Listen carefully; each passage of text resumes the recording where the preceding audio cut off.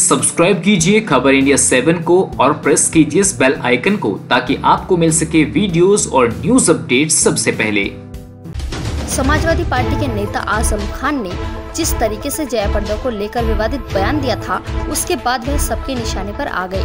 कभी उनके साथी रहे अमर सिंह, आज उनके सामने धुर विरोधी बन गए हैं। अमर सिंह भी अपने बयानों की वजह से सुर्खियों में रहते हैं।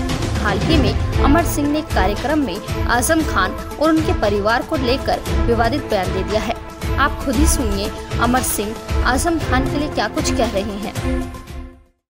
लेकिन आज़म खान!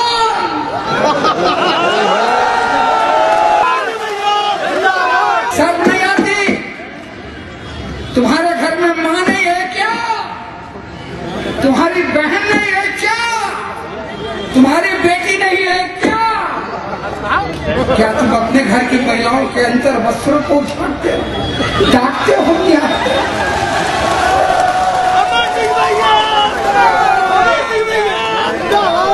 अगर ये आदत है तो बड़ी गंदी आदत है आज़म खान।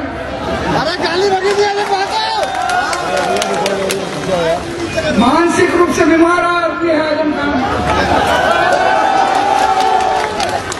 उसे चुनाव के मैदान में नहीं होना चाहिए नहीं होना चाहिए उसे आगरे के में।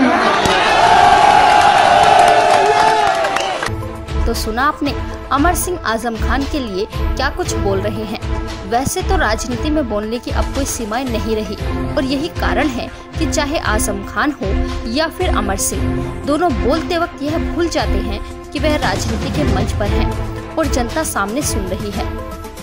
इस खबर में बस इतना ही। खबर को लाइक और शेयर ज़रूर करें और ऐसी अधिक खबरें पाने के लिए सब्सक्राइब ज़रूर कीजिए खबर इंडिया सेवन को